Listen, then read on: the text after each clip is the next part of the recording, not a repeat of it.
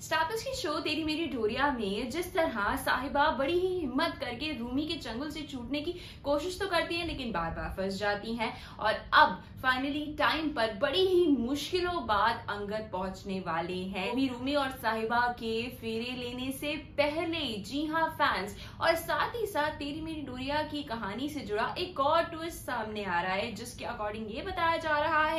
कि गैरी, जी हाँ गैरी ब्रार की हो सकती है शो में री एंट्री जिस तरह से, जिस लीन को उनके बेटे से दूर जाने के रिएक्शंस दिखाए गए हैं, कहीं ना कहीं शक तो पहले से ही था। पर ये शक कब यकीन में बदलेगा, ये देखने वाली बात होगी, क्योंकि अगर गैरी ब्रार की एंट्री हुई तो ना केवल कहानी में बड़ा ट्विस्ट आएगा, क्यों? क्योंकि सीरत अभी भी गैरी की वाइफ है और सीरत और अंगद की शादी की बात चल रही है। तो किस तरह से गैरी के आने से इस शादी को तो रोक ही लिया जाएगा, साथ ही साथ साहिबा और अंगद की जो बॉन्डिंग थी, वो क्या पहले जैसी हो पाएगी? जाने के लिए स्टार प्लस की शो तेरी मेरी डोरी लगातार देखती रही है टेलीमॉम को सब्सक्राइब करना बिल्कुल ना भूलें।